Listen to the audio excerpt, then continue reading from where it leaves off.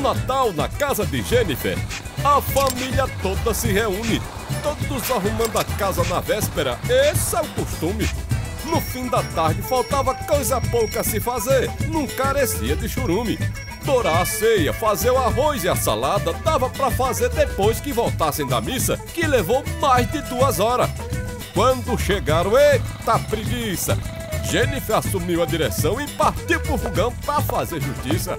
A ave no forno colocou apressada, mas quando acendeu, o fogo apagou. Acendeu de novo e apagou de novo, valha-me Deus, ela se danou. E a família abriu o berreiro, Jennifer do céu, o gás acabou. Mais de 10 da noite, como é que compra gás? Uma fome danada. Teve gente até que ouviu roncando o bucho de um rapaz. Aí de repente alguém deu uma ideia. Já sei, vamos pegar carvão e fazer um churrasco lá atrás. Que sorte! Mesmo com tanta confusão, a ceia conseguiu ficar pronta, tudo se resolve com união.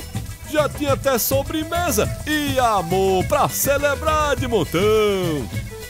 Você pode ajudar a garantir que muitos outros cearenses também tenham lembranças inesquecíveis. Acesse nossas redes sociais e faça parte de uma grande história com a Granja Regina.